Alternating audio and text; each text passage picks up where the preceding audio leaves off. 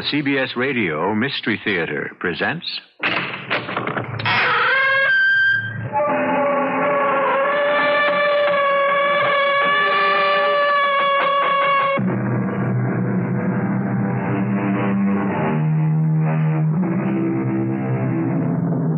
Come in. Welcome. I'm E.G. Marshall. The story we shall bring you in a few minutes is titled The Man Who Ran Away. The wish to run away is a common one. Usually it is an impulse not too hard to resist, but often it is a compulsion, and there is no time to think what it is we are running away from and what it is we are running to. How dare you? How dare you enter this house? I knocked two, two, three times. I could shoot you, you know, Please, and no one would blame me. You're trespassing, I know. and but this is you- my house, and no one can come in here unless invited by me. But I. And need- I invite no one.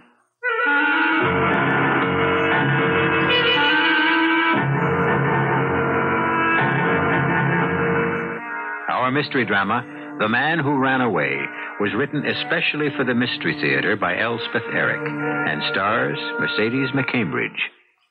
It is sponsored in part by Buick Motor Division and Anheuser-Busch Incorporated, brewers of Budweiser. I'll be back shortly with Act One.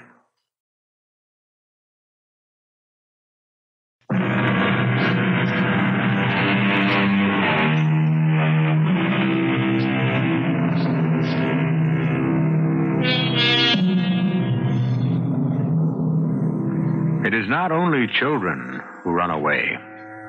Grown people do it too. With children, we're apt to call it an act of defiance. With a grown man, we're at a loss to say what it is. But I strongly suspect it is a cry of pain. Listen now to the story of David, the man who ran away. David, let me explain. Never mind, Mona. There are things you should know. I know enough. Where are you going? I have no idea. But we should talk about it. No, no, we shouldn't. Don't you want to hear what I have to say? You've said it all, Mona, my dear wife. You're taking the car. Yes, I am. But why are you doing this? Because I've got to get away. David, you can't. David, come back.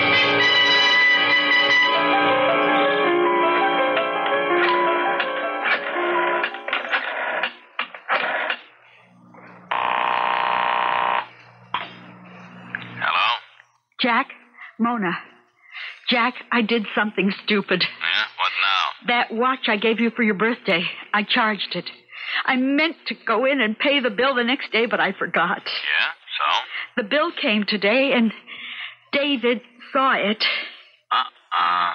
Now he knows everything. You told him? What else could I do? How did he take it? He up and left, took the car. What do you mean? Left for where? I don't know. Didn't you ask him? He just said he had to get away And when did all this happen? this morning. He'll be back. It's three o'clock and he isn't back yet. Hasn't phoned nothing. Well, don't worry. Just give him time. He'll be back.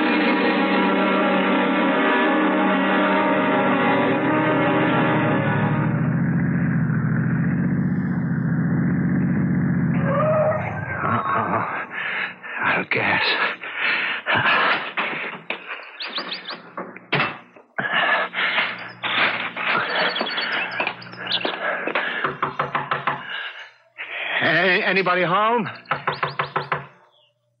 Is anybody home? What? What are you? Uh, uh, is anybody in here? Anyone? Uh, oh, How dare you? How dare you enter this house? well, I knocked two, three times. I could shoot you, you know. Please, You're you- trespassing. Please. My car is out of gas, and I wondered if I this might This is use. my house, and no one can come in here unless invited. By me. I know, but and you- I invite no one. I'm sorry. Hush. I, I, I I didn't said mean be to. quiet. It, uh, it's just a horse. It's his horse. Oh, I can see it. Move away from that window. What? I. Don't stand in that window. Move away. Oh, all right. He might think it was I, standing there. Oh. On the other hand, no one could mistake you for me. No, not very likely. But he might think I'd invited you here. Well, I could explain He's very my- jealous, though he has no reason to be. But he loves me desperately. Well, I, I don't want to make any trouble for you. Oh, you won't. We all make our own trouble, don't you think? I. I don't know. I do. And that's the way it should be, huh? Come. Into the parlor, why don't you? We'll have a little talk. But the man, the man on horseback. Don't worry about him. He'll be back tomorrow. In the morning, and again in the evening, tomorrow, and the day after, and the day after that, and so on. Please, come into the parlor. You will tell me your troubles, and I'll tell you mine.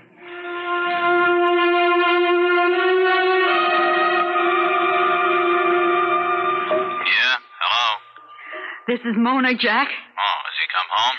No, and it's after 10 o'clock. Well, give him time. How much time? Look, he's probably out somewhere getting drunk. I doubt that. Or with some woman.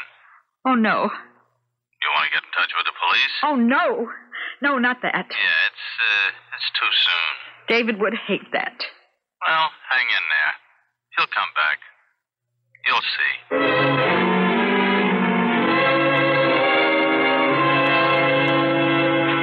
Everyone has troubles, you know. Little problems of one kind or another. I'm sure that's true. You haven't told me much about yours. Well, you haven't told me anything about yours. Oh, mine can wait. Now, you said you became upset. That was your word, wasn't it? Upset. And you ran away. You kept running, not knowing what you were running to. Not caring. Simply running away. From what? From something unpleasant. You're a grown man. How old are you? 36? Have you always run away from each unpleasantness, such as losing a job, being snubbed by a friend, reprimanded by a superior, things like that? No. Then this unpleasantness was something more than unpleasant. Yes? Yes. It was something quite, quite, uh, dreadful.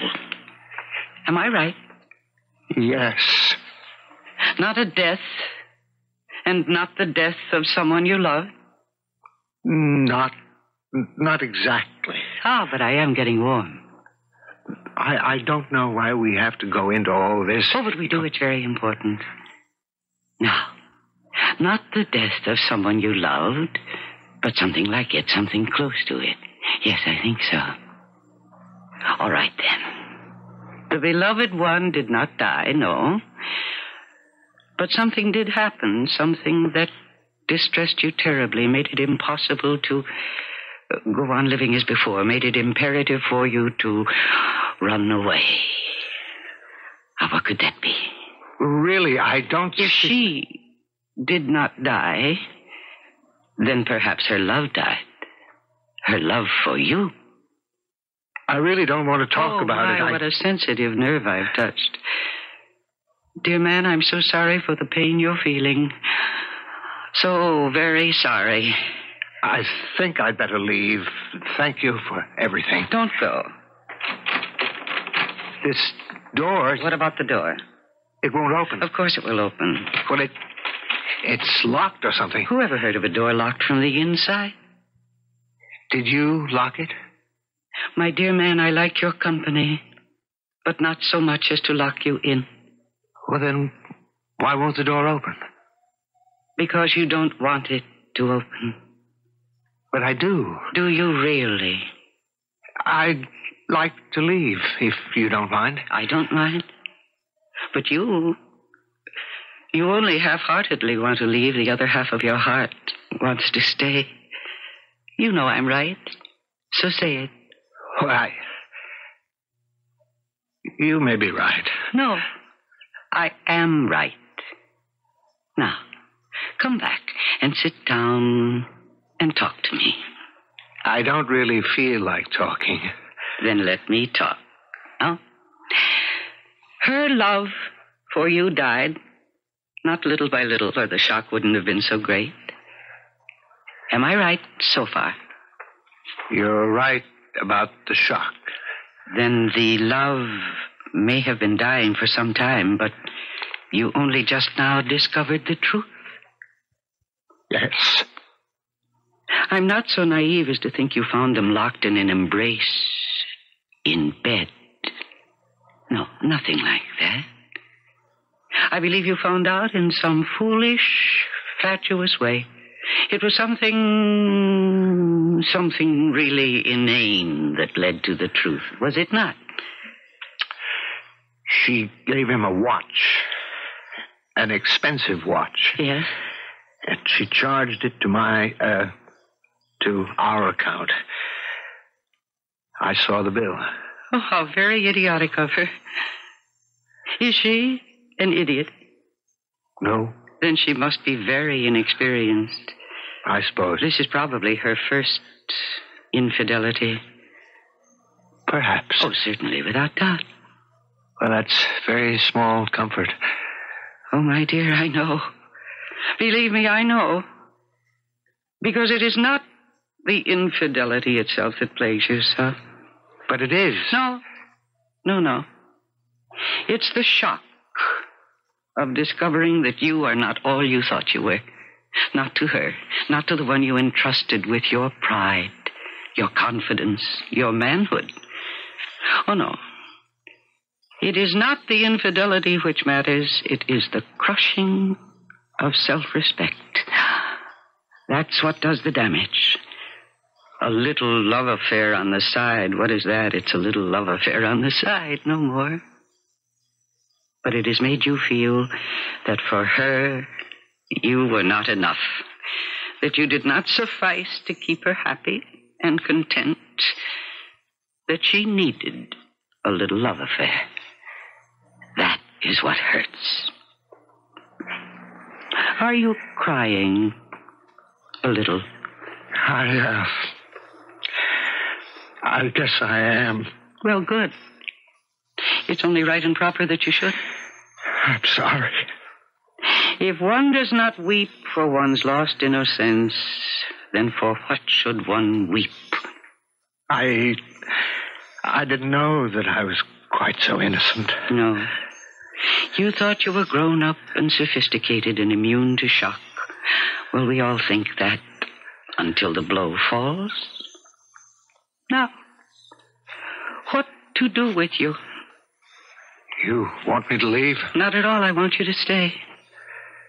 Let me give you some wine. Oh, no, no, thanks. No? Some men would run away into wine or whiskey. Not me. I only get sleepy. I have some cocaine. Would you like some of that? Cocaine? Oh, no, no, no, no. I, I don't use any kind of drug. I don't even like to take aspirin. There are those who run away to drugs to help the pain. Well, I'm not one of them. So, what are we to do with you? I, I guess what I really want to do is to go to sleep. Aha, sleep. The safest place to run. Would you like to sleep here? There are plenty of beds. Well, if you, if you don't mind, Come, come, come, come, come. I'll show you the way. you're very kind. I can be even kinder. Would you like me to come to bed with you? Sex, you know, can be the most delectable escape of all.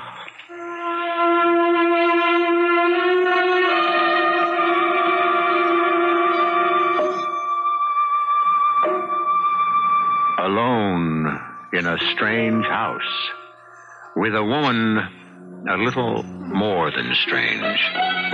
Is this what our man has run away to? Is this the escape that he sought? Or merely the one he stumbled upon? Or is it the one he was inevitably drawn to? I'll be back shortly with Act Two.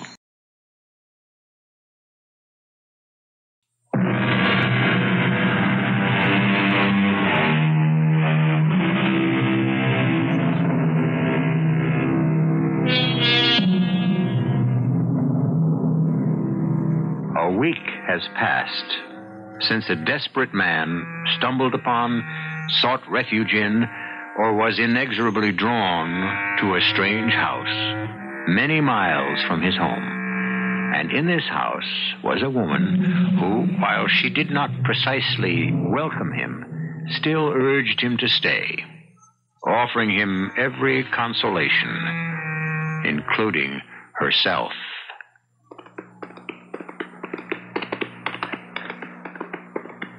What's happening here? Well, the man on the horse. You were standing in the window. No, no, I wasn't. He saw you. No. Well, then why did he turn in and come up to the house? I don't know.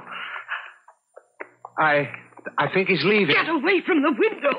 He can't see me. He isn't looking this way. He's never done that before. Actually come up to the house. Is that so terrible? He's supposed to wait for the signal. He rides past each day, in the morning and again just before it grows dark, waiting for the signal that I have forgiven him. Who is he? He is my husband, of course. Who did you think he is? I didn't know. And when he sees me standing in the window, dressed in my white muslin, the one with the lavender ribbons and the blue rose, then he will know that I have forgiven him, that he may enter this house, and I will be his again. I see. At least I think I. He's getting impatient, wouldn't you say? Else he'd never have turned in and come up so close to the house. Poor darling. I can't blame him. It's been a long time. How long can a man wait for his wife to forgive him? Forgive him for what? Oh, come now. You must know. For infidelity? Of course. Oh, I know it didn't mean anything to him, not really, but it did awful things to me. And that's why you understood me so well. People don't understand things they haven't experienced. They may try. They may pretend. They may sympathize and try to console, but they don't understand. How can they? You understood me so well. And I was right, wasn't I? That there was nothing for you to do but run away to escape. You were right. And I was right, too, wasn't I? That the most delectable escape is in a strange bed. Wasn't I right about that? Come now, admit it. I. You don't Don't- think I'm speaking of love, do you? Oh, no, no, no. There's no love between you and me. There's not even affection. Although I'm sure you're a very nice man. No, no, no. There's nothing but a blind search for oblivion. Your search and mine. We are two aching, passionate people, asking only to ease the ache and expend the passion in a wild and blind embrace. Oh, no. There's no love here. My love is with the man on the horse. Yours is with the woman you left back wherever you came from. No. No love. Love would only get in the way.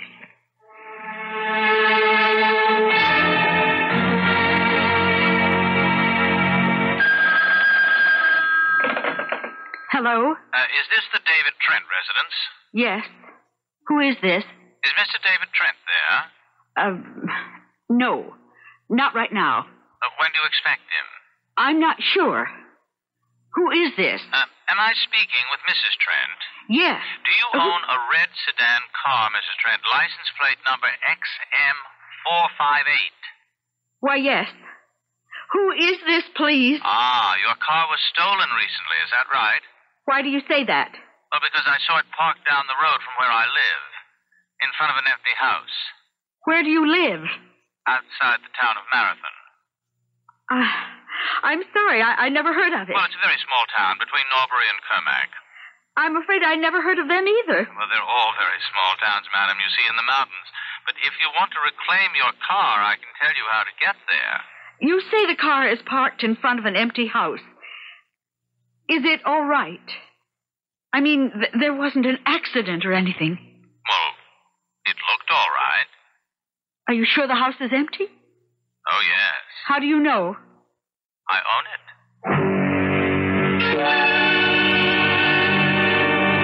Don't you think so? Think what? About what? That love would only get in the way? In the way of what? In the way of our little retreat. Is that what it is? I made my retreat to this house a long time ago. Then a week ago, you made yours. I didn't know I was making a retreat. You didn't think it's only the religious who make retreats, did you? Well, I never really thought about it. Many people make retreats, though they don't always call them that. Alcohol is a retreat. Really? Alcoholism is a permanent retreat. Drugs are a retreat. Addiction is a permanent retreat. A breakdown is a retreat. Insanity is a permanent retreat. And of course, the last, the drastic, and the really permanent retreat is suicide. Aren't we getting a little morbid? Oh, what a touchy man you are. Are you afraid to talk about serious things like love and loss and death? No, not afraid. I just don't want to spoil spoil the retreat. Would you like to make it permanent? That would mean becoming a hermit. Would you like to be a hermit? Well, no, no. But I, I wouldn't be. Not as long as you're here. But I shan't always be here. Why not? Why won't you? Did I ever say I would? Not in so many words, but I assumed, I, I took it for granted. That was very foolish of you. Yes, I suppose it was. Uh, well, uh, if, if you're planning on leaving, Eventually. well, then I might as well plan on it, too. I think you should. Actually, I. I might as well leave right now. If you like. You don't care? I don't care. No. It doesn't open.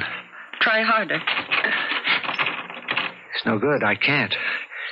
Let me open it for you. If you don't mind. Not in the least. Well, think of that. Imagine. I can't open it either. And that means. That means that I don't want to leave any more than you do. And you'll stay? As long as I do? You'd like that? Very much. No, my dear. It's impossible. Why is it impossible? Because we are becoming too much like lovers.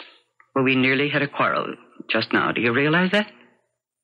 Just like real lovers. Would that be so awful? You don't know how awful. No. I can't open the door now. But tomorrow. You won't want to open it tomorrow any more than you do now. Oh, yes, yes. Because tomorrow I shall put on the white muslin dress with the lavender ribbons and the blue rose, and I shall wash and dress my hair. And when he gallops up the road, he will see me standing in the window.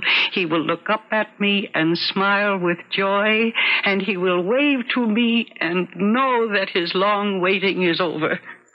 And I shall open the door and go out to him.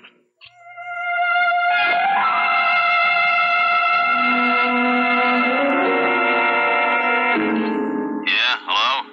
Jack, this is Mona. Any word from Dave? Not from him, no. But a man named Gregory Cape called me. He says our car is parked in front of an old deserted house down the road from where he lives. Been there for a week, he says. That's exactly how long David's been gone. Well, how does he know it's your car? He checked out the license plate. Uh, where is this old deserted house? About 200 miles from here, outside a little town called Marathon. Uh, is Dave holed up inside this old house? I mean, did the man say?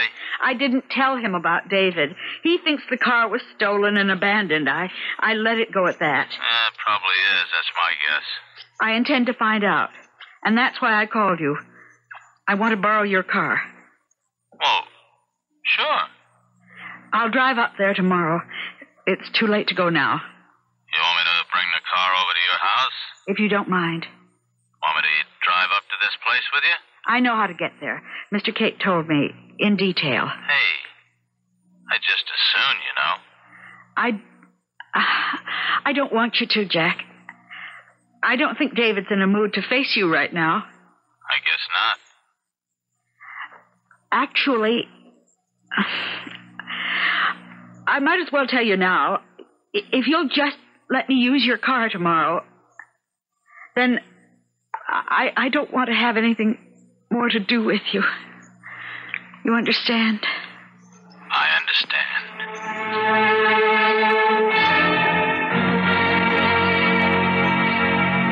Aren't you coming downstairs? Soon. Yes, soon. I'm so afraid of losing you. Sometimes I think I have, or that I never really found you. Can you hear me? I'm busy. Doing what? You see. Well, not. You're not. Oh, not yet. Here I am. You may look. Well, what do you think? Do you like it? Come now, be honest. Tell me, do you like the way I look? Yes. You really mean it? Oh, yes. I'm sorry it took so long. But this is a very elaborate dress. And my hair is so difficult to handle. That's the dress, the white muslin with the lavender ribbons. Where's the blue rose? It was so faded and a little crushed. I don't think he'll notice that it's missing if he remembers that it was ever there. No man could ever forget you in that dress. It is pretty, isn't it? And it's becoming, isn't it? It suits me, don't you think? You're going to stand in the window, aren't you? In that dress. Of course I am. I told you I would when I thought he'd suffered enough. He'll be riding by very soon now. Yes, any minute. What kind of pose shall I assume? Huh? Perhaps a hand to one cheek. Would that be good? Come away from that window. Or would it be better if I were just full face with my arms at my sides? Very simple, very unaffected. Come away Don't from you touch me. Don't you dare touch me. You can say that after everything That is we've. over. It's over. Oh, I think you've mussed my hair. Well, it can't be helped. I've always told you my retreat wasn't permanent, that the day would come. But not today. Why not? I, I, I think I hear him. Oh, yes, yes, it is. How do I look? Well, no matter. It's too late to think about that now. Oh, hear how fast he gallops. He was always like that. Always at a hard gallop on these backcountry roads. There he is. There he is. No. No. No, wait. Wait. Didn't he see me? Oh, that's impossible. He must have seen me. Why did he go on past? He didn't even look up. He never slowed his horse. He never even. Oh, no. Oh, no, it can't be that he doesn't care. It can't be that. Can it? Tell me. Can it be that? Can it be that he doesn't care?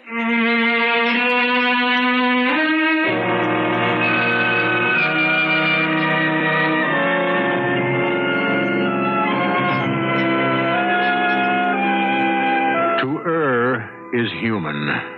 We all know that only too well.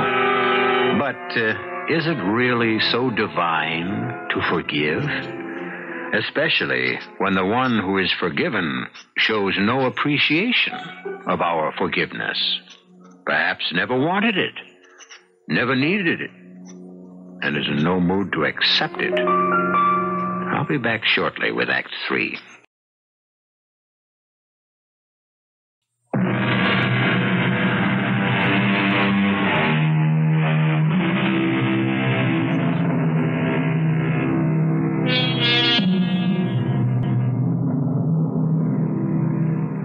David Trent, the man who ran away, has spent the past week in a strange house with a woman he has come to know intimately, who, in our last act, stood at one of the front windows of the old house listening to the sound of hoofbeats approaching. Here he is. No! Didn't he see me?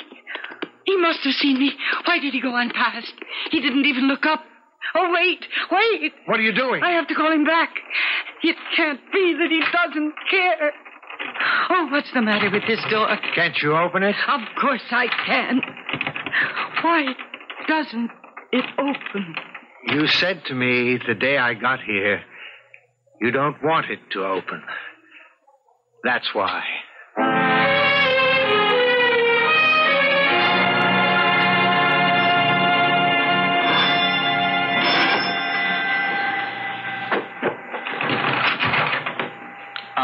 Oh, yes, M- Mrs. Trent. Yes, uh, you're Mr. Cape, Mr. Gregory Cape. Come in. Thank you. Do you have any trouble getting here? Some. Well, we're a little off the beaten track here. It was very kind of you to call me about my husband. Uh, about his car. He didn't come with you. Uh, no. Oh, uh, I might as well tell you, Mr. Cape. My husband left home a week ago. I haven't heard from him since. I, uh, I, I think there's a, a good possibility he's hidden himself away in that house. I hope not. Why? Is there something? Is there anything dangerous? Oh, no, no, no, no. Not dangerous. Just a big, empty house with a sad history. You own the house, you told me. Yes, I wish I didn't. The house belonged to my grandfather. He built it at the turn of the century for a beautiful young woman. For a few years, the house was full of laughter and music and dancing, and then one day, Yes. oh, it was a trifling affair. My grandfather was a lusty young man in the year 1901.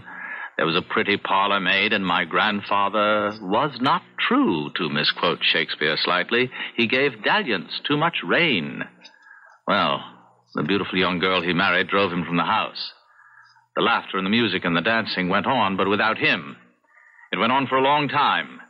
It became wilder and more abandoned. The neighbors protested. They took steps to force her out of the house. When that happened, the music and the dancing stopped quite suddenly. There were not more guests. But she stayed on? She stayed on. First of every month, cases of liquor were delivered to the house. The laughter within was no longer merry or gay, it was hysterical and spiteful. And then that stopped too. She died. Oh, no. Oh, no. It was about that time that cocaine was discovered. By Freud, actually.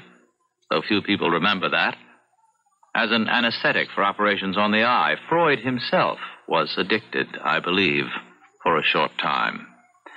And the lovely lady in the house was also addicted for a very long time. Oh, how unhappy she must have been, your grandmother. My grandmother? Oh, no, Mrs. Trent. I am the grandson of the parlor maid.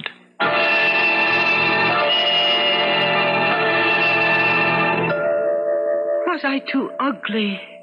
Is that why he didn't stop? Have I grown old and hideous? No. That can happen, you know. A woman doesn't always realize what time is doing to her. She thinks she's always 18. Is that what's happened to me? No, no, believe me. My pretty dress? Has it turned yellow? Have the ribbons faded? It's still very pretty, and so are you. Do you mean that? With all my heart. I think you should go upstairs and take off your dress and bathe yourself. I could do that, I suppose. And then lie down upon your bed and sleep for a while. Should I do that? Didn't you tell me that sleep is the safest retreat of all? I did say that, didn't I? You know, I think you were right about the door. It wouldn't open because I didn't really want it to open. Not really.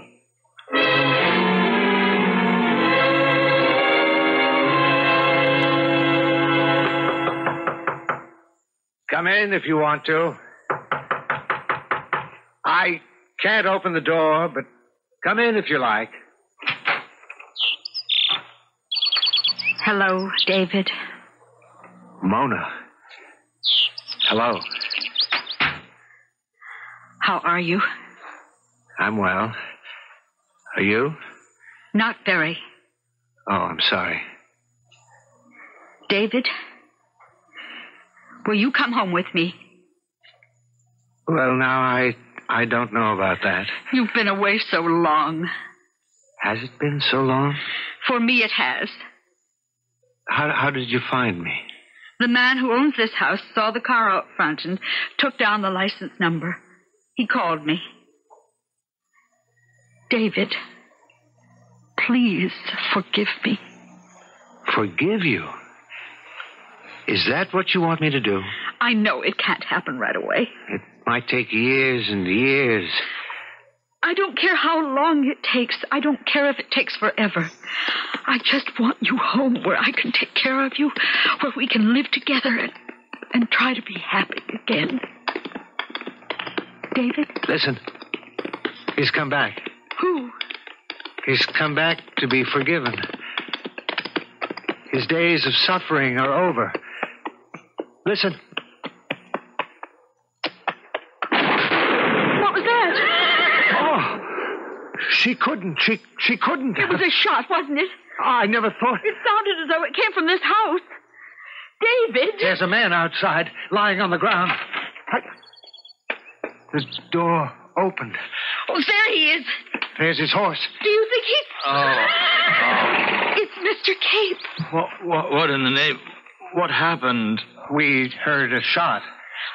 We thought you'd been shot. No, no, no. My horse stumbled and I, I, I went off. That's all that happened. I, I must have blacked out. But you're not hurt? Well, you can see I'm not hurt. Well, it's this house. It's this cursed house. I should never have ridden down here, but I was concerned about you, Mrs. Trent. Ow. Well, at least I see you found your husband. Yes. Yes, this is David. Mr. Cave. Hmm. you do a lot of riding, don't you? On horseback? Every day.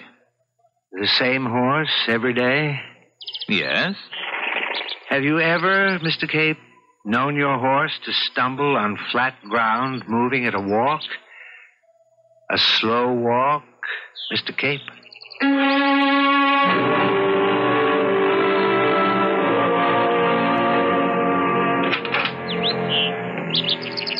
Are you here? It's only me. Don't be afraid. Are you here? Is that you? Yes. I'll come down. I'll wait. Have you come to make another retreat? No. No. Then why? I came to tell you that I've bought this house. Oh? Why have you done that? I wanted to be sure that you'd always have a place to live. That was very kind of you. Well, there was another reason. You've gone back to the woman who betrayed you. Am I right? You're right. And you've forgiven her. I'm getting back my self respect. You told me, you know, that a little affair is, well, just a little affair. But the consequences to the the third party, the one left out, the one made to feel like an outsider, well, they are very severe. As you well know. As I well know. You did shoot him, didn't you? Oh, yes. I thought so. I saw him fall, and a great burden was lifted from my heart. But you stay on here? Where would I go? Oh, I can't say I don't miss him. Miss the sound of his horse's hoofbeats pounding up the road. Yes, I miss that. The days seem long without that. Still, what else could I do? What could I do but kill him? It must have seemed like the only thing. You were going to tell me the other reason why you bought this house. You said you bought it for me. But there was another reason. Yes. I bought it for myself. To live here? No. At least, not all the time. Aha. I see. Just for the times when I need to run away. To make a retreat. That was very wise of you. And you know, don't you, that whenever you decide to run away, I shall always be here. I know. Thank you for coming. Oh, thank you for being here. I wonder if the door will open for me. Try it. You see? Yes. Come back. Soon.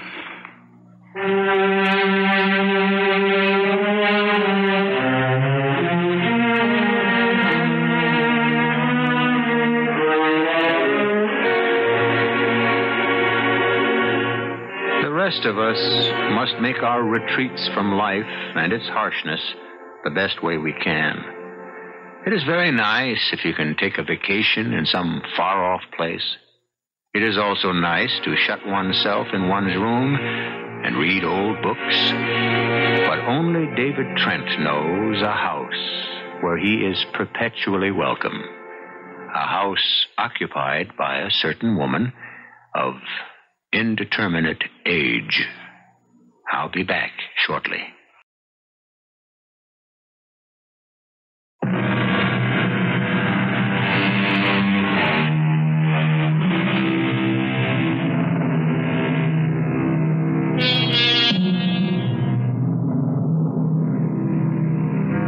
There's a great deal of talk about facing reality, and I myself endorse all of it. Reality is the safest place to live in. But we have to admit that not all of us are strong enough to live with reality day in, day out. We all must run away from time to time to build up our strength. The thing is, we must always know the way back. For us, the door must always open. Our cast included Mercedes McCambridge, Robert Dryden, Martha Greenhouse, and William Redfield. The entire production was under the direction of Himan Brown. And now, a preview of our next tale. I wish you could meet a girl you could settle down with. I'm off dames for the moment. This girl I. Hey! What kind of crazy? It's the Mercedes, and Laura at the wheel. Look out! What, what is the matter with you? You out of your mind? I, I had to go off the road. Matt, that crazy broad would have rammed into us head on. What are you talking about? The green Mercedes that came around the bend. Didn't you see it? Or her? Round what bend? I- Coming the other way, headed towards us. George, we haven't passed any cars coming or going in the last few minutes. We just about rammed one going the opposite way less than a minute ago. A green Mercedes? Yeah, a 56, a classic. Didn't you see it? No, I didn't because it wasn't there. Radio Mystery Theater was sponsored in part by Anheuser-Busch Incorporated, Brewers of Budweiser, and Buick Motor Division. This is E.G. Marshall inviting you to return to our Mystery Theater for another adventure in the macabre. Until next time, pleasant dreams.